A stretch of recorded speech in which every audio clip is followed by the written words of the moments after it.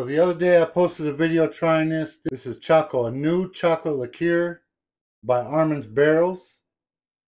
Armen's Barrels makes Florena vodka, which is probably my favorite vodka I've tried to date, especially at its price range. The chocolate liqueur was phenomenal. So I had to go buy the Florena Latte, which is a white chocolate liqueur, because the regular chocolate was so amazing.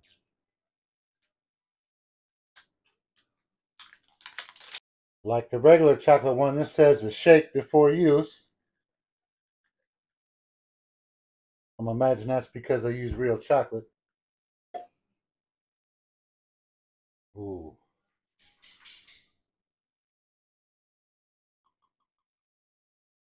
Definitely smells like white chocolate. I hope this tastes just as good as it smells. Oh my God.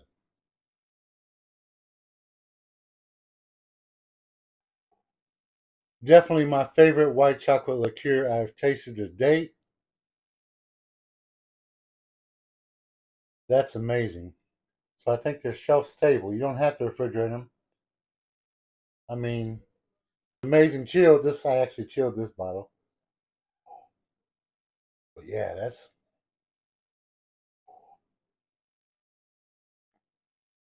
But like I said, definitely recommend the vodka by Armen's Barrels at the price point. Definitely by far my favorite vodka at that price point.